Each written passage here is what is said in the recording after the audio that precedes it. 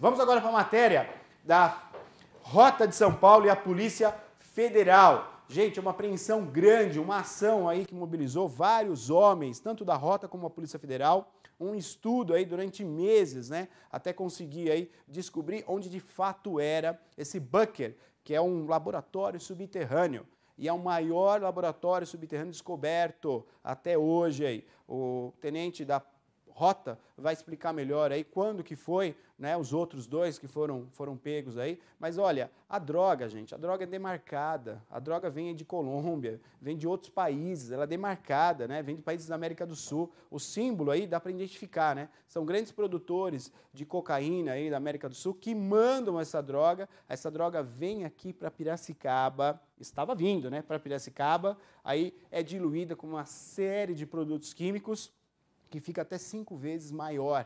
A quantidade fica cinco vezes mais. Graças a Deus, aí a Polícia Federal e também a Rota conseguiram descobrir esse laboratório, tirando esse mal né, daqui do meio da nossa cidade, né, aqui do meio da nossa região. Vamos acompanhar a matéria. Rota na tela, pode soltar.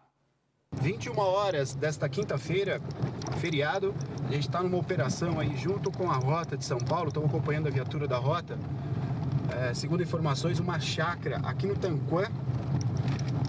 Uma chácara aí com muitas drogas. A gente está acompanhando a rota de São Paulo, nossa operação aqui na cidade de Piracicaba. Estamos entrando agora aqui numa, numa região com muita cana, aqui no Tanquã, estrada estreita. Na nossa frente é a viatura da rota de São Paulo. Atrás de nós tem mais duas viaturas a gente está acompanhando a rota nessa operação aí.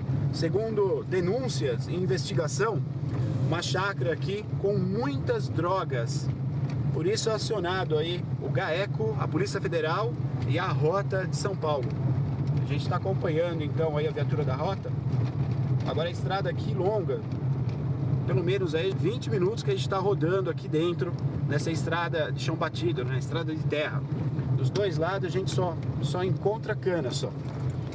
Mas segundo denúncias, né, e a investigação aí feita é, pelo comando, tem uma chácara aqui no meio, onde estão escondidas aí muitos, vários quilos de drogas. A estrada fica mais estreita agora, uma estrada bem estreita mesmo aí, de difícil acesso. Choveu muito por esses dias, então a locomoção nessa estrada aqui está bem complicada.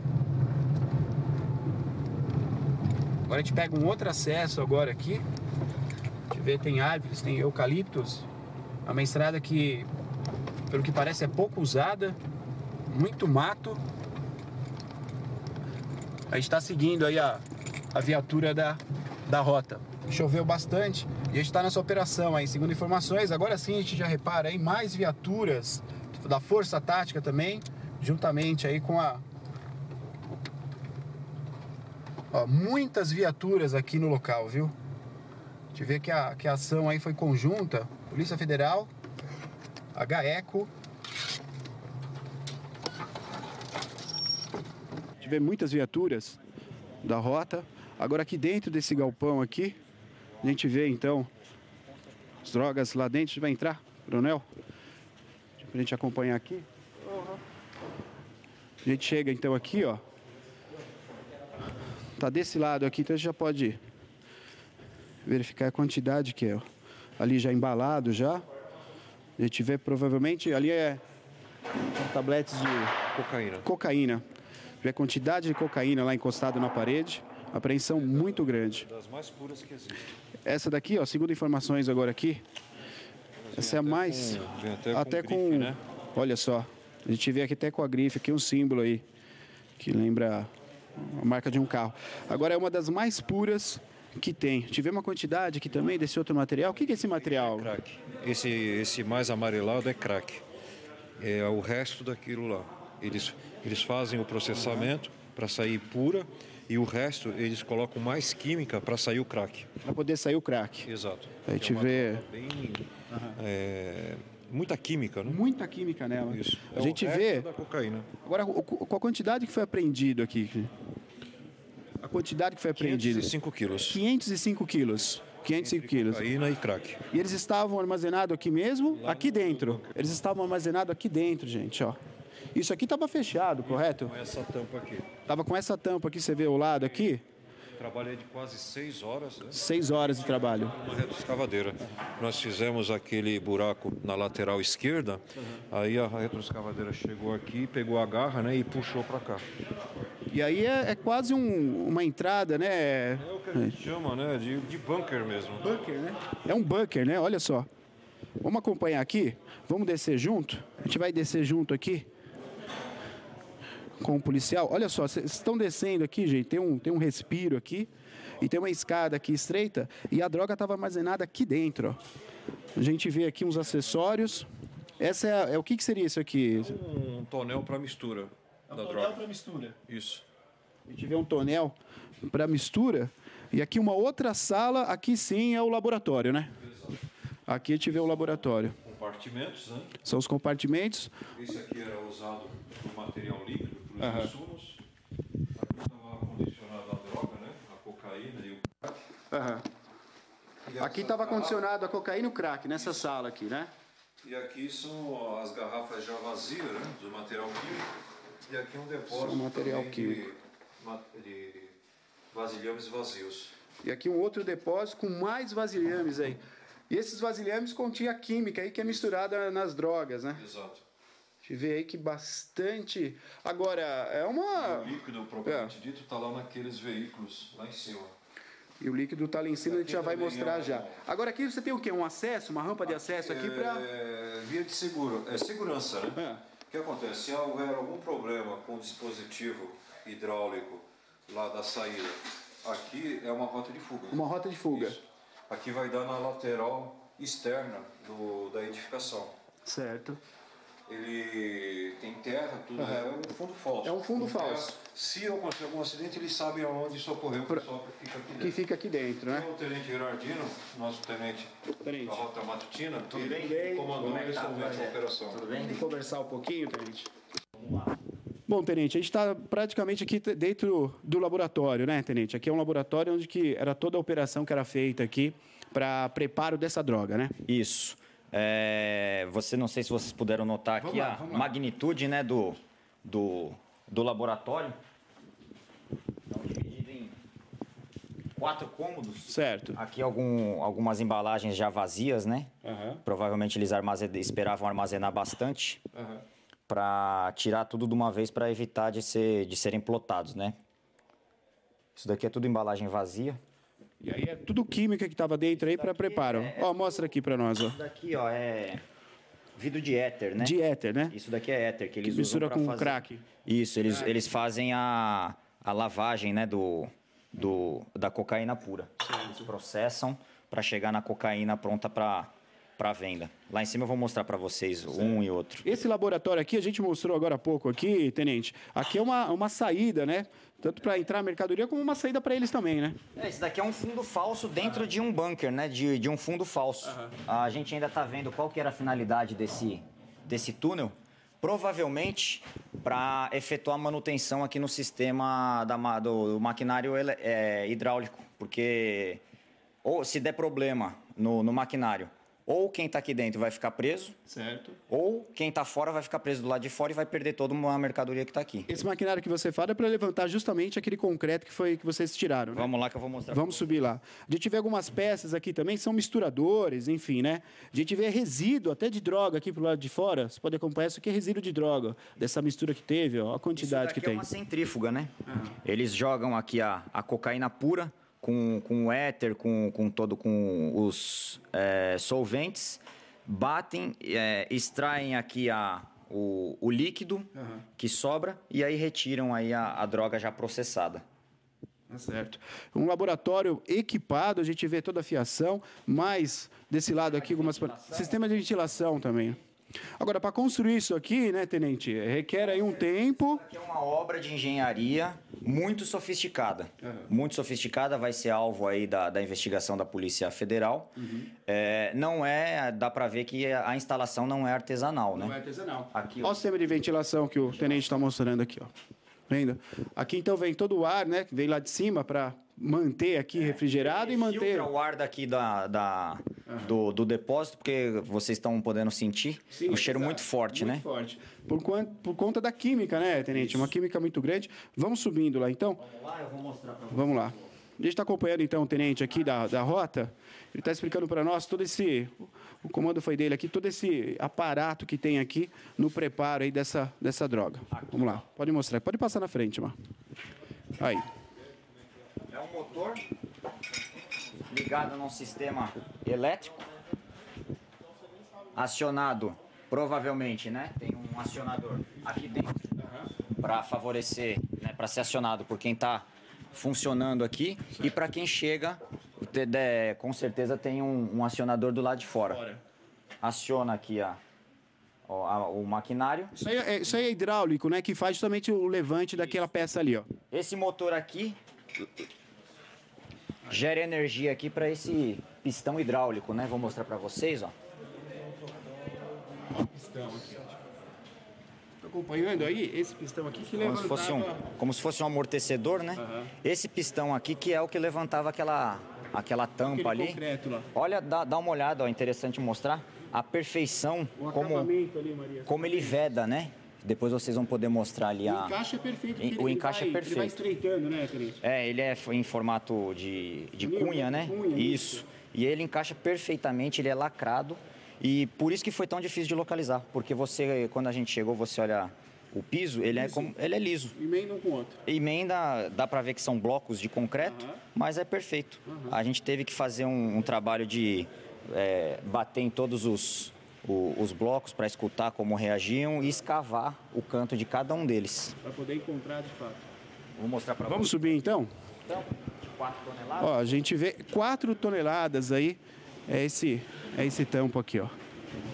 né? Ó, olha a perfeição do encaixe. Concreto bruto, né? Puro. Ali a peça que encaixa E a no. peça que encaixa. Deixa eu mostrar as drogas para vocês. Vamos lá, vamos lá, vamos lá. O Tenente vai mostrar para nós agora. Pessoal, olha a equipe aqui, o pessoal da rota está carregando agora a viatura ali. E o Tenente vai mostrar. Né? É, a gente localizou uma prensa aqui também que já, já foi levado para a viatura né? para deixar justamente com esse aspecto aqui, compactado para facilitar o transporte. Isso daqui é a maconha, Essa né? Maconha, né? Tem um cheiro bem característico de maconha, vocês estão sentindo. E essa daqui é a cocaína pura. Essa cocaína. Agora o que chama atenção é o símbolo aqui, né? Então, isso, isso daqui, com, é, com certeza, é, graças a esse símbolo aqui que, que foi descoberto na, em cada tijolo dessa, da, de cocaína pura, a, a Polícia Federal vai conseguir rastrear da onde, de, da onde é que vem. Da onde que tá vindo. Isso, com certeza de algum país da América do Sul. Então, para quem está em casa entender, essa droga chega aqui, provavelmente num país, como o Tenente falou, um país da América do Sul, vem para cá, é armazenada aqui embaixo e onde é misturado com outras químicas, né? Isso, e daqui eles é, mandam pro, pro estado inteiro. Aí distribui para o estado inteiro. Distribuem pro estado inteiro. A gente vê a quantidade que tem, aqui praticamente é aquela pura pura, né, Essa Tenente? daqui é a cocaína pura no na o, o grau de pureza praticamente que 100%. É a cocaína mais pura que, que existe é nesse modelo aqui que a gente pode encontrar. Tenente, como é que a, a, a rota chegou até, até o local, Tenente? Como é que foi a, a operação da rota desde a saída de São Paulo, desde a, a investigação, né? Como é que foi isso?